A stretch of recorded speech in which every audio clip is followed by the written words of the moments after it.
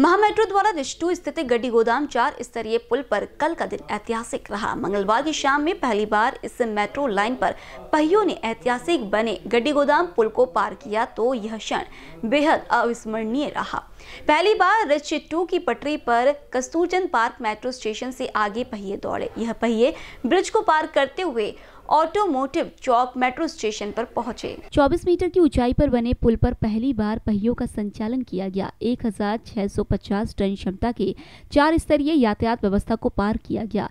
Delhi rail मार्ग पर पिचासी मीटर लंबाई के 800 टन वजनी स्टील गर्डर की स्थापना 4 फरवरी 2022 को महा मेट्रो द्वारा सफलतापूर्वक की गई। देश में पहली बार चार स्तरीय यातायात व्यवस्था का निर्माण करना बेहद जटिल था।